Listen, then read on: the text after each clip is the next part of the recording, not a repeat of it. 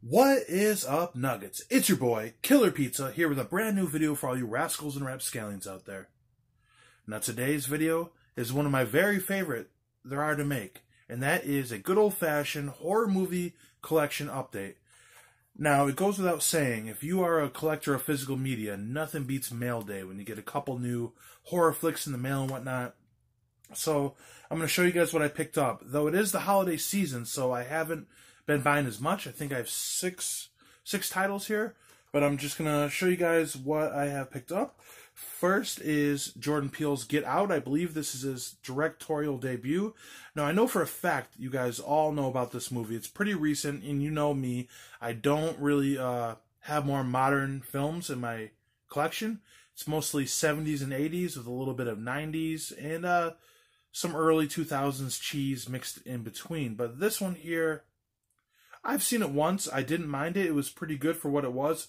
Definitely a, nice like idea for a film. It was creative and everything. And I'm gonna have to rewatch it to really get the full vibe. But this thing has been on Amazon for $4.99 on Blu-ray for the longest time, and I always pass it over. And like I said, it's Christmas. I'm saving my money, trying to get everyone the right gifts. So a baller on a budget. No, I'm no baller, but for the sake of it, baller on a budget. Uh, deal. Five dollars seemed about right. Oh, I feel like such a douchebag for using that phrase. Just kidding, guys. All right, and uh, right here is the original Amityville Horror.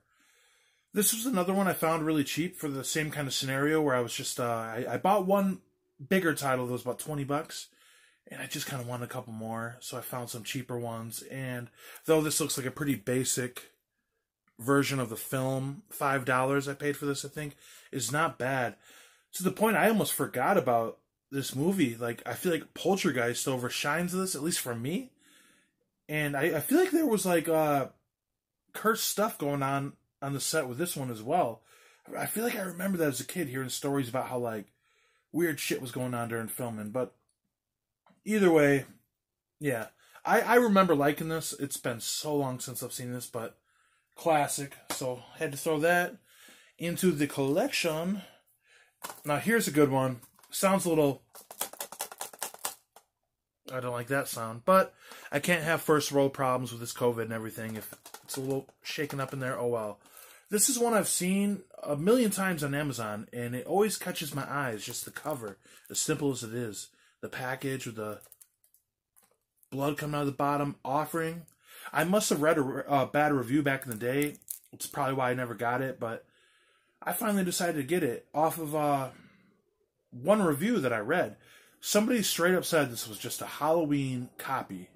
And I was like, well, fuck it. I, I love 80s slasher movies, and I love Halloween. I go, I don't really care because a lot of people said The Burning was a ripoff of Friday the 13th, which I prefer The Burning over the original Friday the 13th. So, not that I think I will like this over uh, John Carpenter's Halloween but I, I do like some uh, sleazy, shitty 80s horror. And I mean, I haven't seen this yet. I'm going to give it a chance.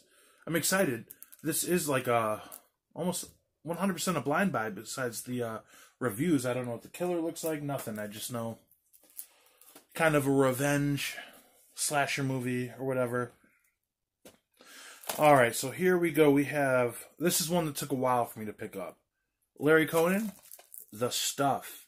Now, this is a little more science fictiony on top of the horror from what I remember, but this is body horror 100%. Uh, I've seen clips of this before in the past with pretty much this, this, is a story of like the stuff is like a product, like a whipped cream or some kind of like dietary. It looks like the substance of like whipped cream. It's some kind of dietary food or something, and everybody loves the taste of it. They keep eating it in this small town, and it's like making people go like street trash style body horror from what I uh, remember from what I've seen. And I don't know, I kept putting this one off as well. I think I watched all the goriest scenes on YouTube, but I was like, I got to give this one a chance. A lot of people I respect that love horror, their opinion, they always put this one up pretty high. And it's Arrow Video release, so you can never go long, go wrong with Arrow Video. So yeah, this is probably the one of the nicer pickups I got. The stuff. Now I don't know why I don't just get Shudder. There's just something in me that I, have collected so much. I don't want to just stream. I, I canceled Netflix once I bought The Office complete series. But uh, this is one that's on Netflix, which I have a free trial with it. Uh, Scare Package. I won't lie, I uh, I started this maybe a week or so ago, and I got it, and I turned it off. I work second shift. I think I was just too tired and wasn't really into it. But everything about this movie seems like something I would like. It's about a guy who runs like a dying video store, which I don't like dying video stores, but he's in a video store and he's hiring like a, a new guy, and I think like through the way he explains everything with horror, it turns into like a horror anthology. And you guys know me. I love me some horror anthology films. So I had to pick this one up. Uh last couple titles I got as Shudder originals were really good. I really like what Shudder does, and it comes with a free episode of Joe Bob Briggs' Last Drive-In, which uh, you really can't go wrong with uh, Joe Bob. Now, uh, here's one more that I put off for a while because this is like a weird scenario where this sequel has like a third or half the movie is a flashback from the first, which is very strange. But you know what? I said fuck it because the holiday season's coming up and it's going to be garbage day. we all remember that classic line. But Silent Night, Deadly Night 2. I reviewed Silent Night, Deadly Night Part 1 last Christmas, so I'll probably do a review for this one this Christmas. And this is a classic. This guy here, we all remember that moment with Garbage Day and everything. It even says it right here in the back. But, you know, th- this is one I just had to get.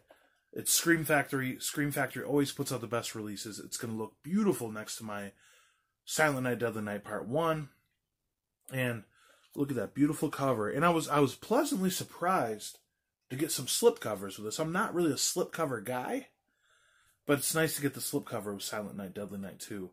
So, yeah, this is a classic. They don't make many horror movies worth watching about Christmas time or other holidays for that reason. So, they're kind of fun. So, yeah, Silent Night, Deadly Night Part 2. And that is pretty much all of it, my friends. Six pickups. I didn't really try to grab too much because, uh, like I said, it's the holiday season. And, I mean, I'm, I'm trying to invest more of my effort into buying nice gifts for other people, not just me. Though I have a couple in my cart right now online, so we'll see how it goes when I get done with my Christmas shopping today. But uh anyways, yeah, uh, it's the end of November and I hope everyone's doing all right. Thank you for watching my video. I appreciate it. I'm just some dude from Detroit, Michigan talking about horror movies.